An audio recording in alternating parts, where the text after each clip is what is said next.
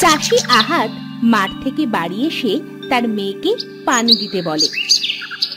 মা রূপা বাড়িতে আসিস নাকি? আমাকে এক গ্লাস পানি দে তো। যা গরম পড়েছে গলাটা শুকিয়ে কাঠ হয়ে গেছে। এই নাও বাবা পানি। কি রে মা তোর মনটা এমন খারাপ কেন আজ?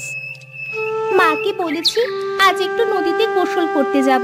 কিন্তু মা কিছুতেই রাজি হচ্ছে না। এজন্য মনটা একটু খারাপ। ওই নদীটা নাকি অনেক ভয়ঙ্কর।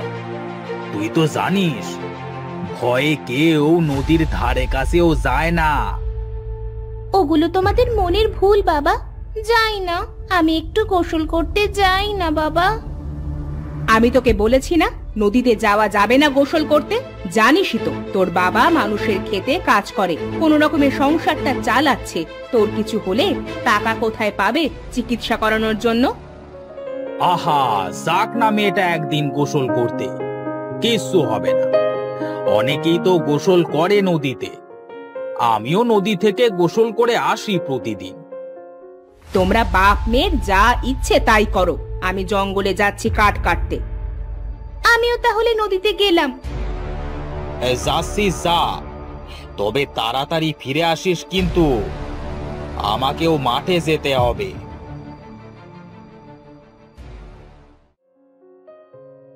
আজ নদীতে ইচ্ছে মতো গোসল করব। বাবা মাও আমার সাথে নেই। কেউ গোসল করার জন্য আমাকে বকাও দিতে পারবে না।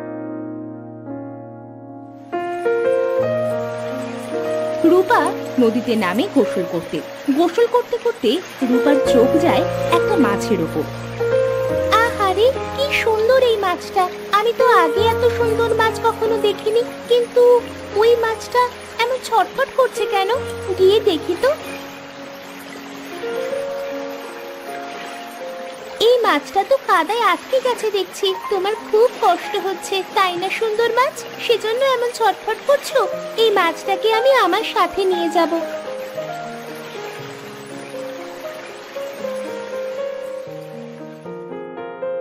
রূপা মাছটাকে নিয়ে বাড়িতে চলে আসে, একটা পাত্রে রেখে দেয়।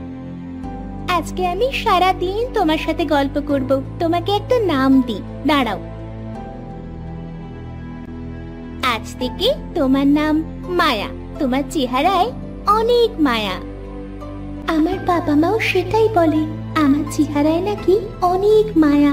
সেজন্য আমার বাবা মাও আমার নাম রেখেছে মায়া। এ কি মায়া মাছ? তুমি দেখি কথাও বলতে পারো। হ্যাঁ রূপা, আমি কথা বলতে পারি। তুমিও খুব মিষ্টি। তুমি আমাকে নদীতে ছেড়ে দিয়ে আসো না। এতটুকু জায়গার ভেতরে থাকতে আমার যে খুব কষ্ট হচ্ছে। তুমি তো ছোট মায়া মাছ তাহলে কেন তোমার কষ্ট হচ্ছে? আমি মনে করেছিলাম তোমার সাথে খেলা করব, অনেক গল্প করব। চিন্তা করো না, রূপা। আমি তোমার সাথে অনেক গল্প করব। তুমি প্রতিদিন নদীর পাড়ে যেও। ঠিক আছে মায়া মাছ তোমার যখন কষ্ট হচ্ছে, তখন আমি তোমাকে নদীতে ছেড়ে দিয়ে আসছি।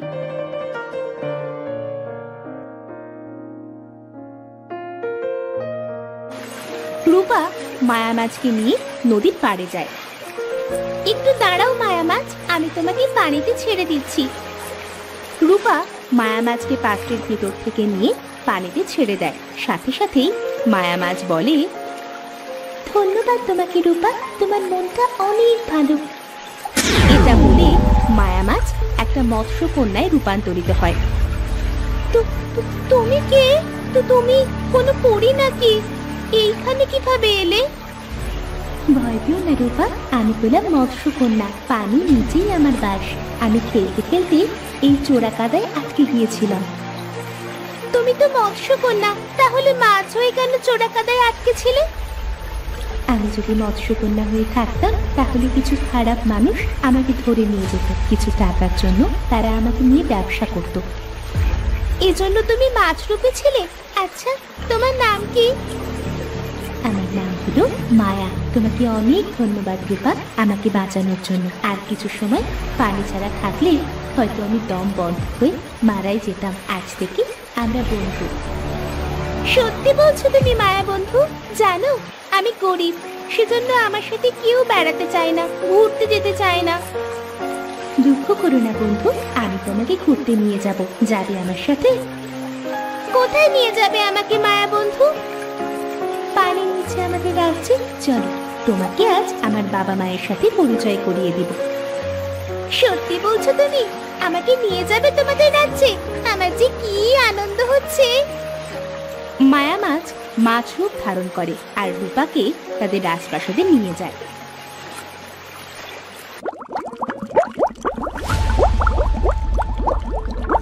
মা, ও মা, তোমরা কি রুমে আছো? কোথায় ছিলি রে মায়া তুই? তোকে কত খুঁজেছি জানিস? কিন্তু কোথাও খুঁজে পাইনি। নদীর এই মাথা থেকে ওই মাথা পর্যন্ত সব জায়গায় খুঁজেছি। তোর মা তো মনে করেছে তোকে হয়তো জেলেরা ধরে নিয়ে গেছে।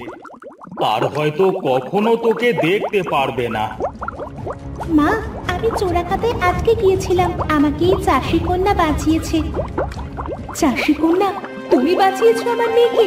তোমাকে যে কি বলে ধন্যবাদ দিব, তোমার কাছে আমি চির ঋণী হয়ে থাকলাম।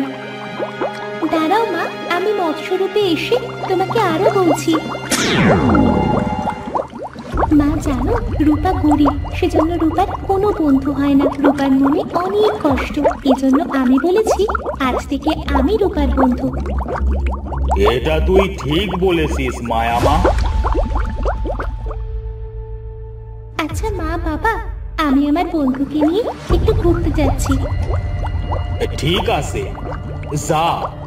তবে পানির ওপরে কিন্তু যাস না। দেখলি তো এই চাষি কন্যা না থাকলে কত বড় বিপদ হয়ে যেত আজ। মা রূপাকে আমি আমাদের মৎস্যপুরী আর পানির নিচটা ঘুরে দেখাবো।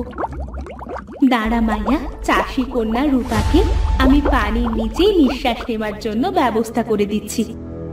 মৎস্যরানী জাদু করে রূপাকে পানির নিচে থাকার ব্যবস্থা করে দেয়। এখন থেকে তোমার যখন ইচ্ছা তখন পানির নিচে তোমার বন্ধুর কাছে আসতে পারবে। তুমি যদি কখনো পানিতে ডুবেও যাও, তাহলে তোমার কোনো ক্ষতি হবে না। তুমি সেখানেও শ্বাস নিতে পারবে। ধন্যবাদ মৎস্যরানী আপনাকে। এবার চলো রূপা বন্ধু, দেরি হয়ে যাচ্ছে তো। চলো, আগে তোমাকে আমাদের ফুল বাগান দেখাই। ঠিক আছে, চলো। মায়া রূপাকে নিয়ে তাদের ফুল বাগানে যায়।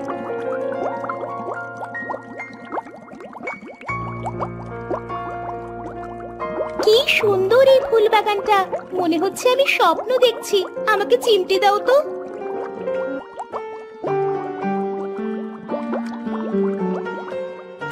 তো স্বপ্ন দেখছি না, এটা তো সত্যি। তোমাদের মৎস্যপুরীটা অনেক সুন্দর। মনে হচ্ছে আমি কোনো স্বপ্নের দেশে চলে এসেছি।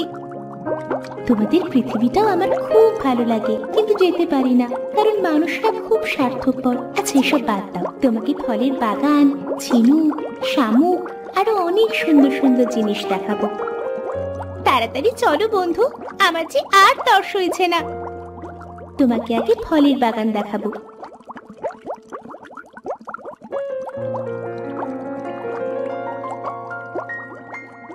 বন্ধু, তোমার যত ইচ্ছা এখান থেকে ফল খাও।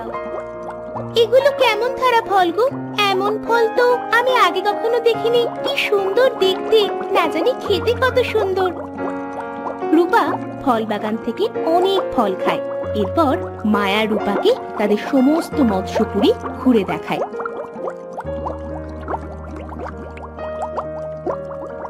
মায়া বন্ধু, এখান থেকে আমি কিছু ঝিনুক নেব। আমার খুব পছন্দ হয়েছে। তোমার যতগুলো ইচ্ছে, তুমি নিতে পারো বন্ধু। এবার আমাকে বাড়ি যেতে হবে, মায়া বন্ধু। অনেক দেরি হয়ে গেছে যে, না জানি বাবা মা কত চিন্তা করছে। ঠিক আছে, চলো। বাবা মায়ের সঙ্গে দেখা করে তোমাকে আমি নদীর ওপরে দিয়ে আসব।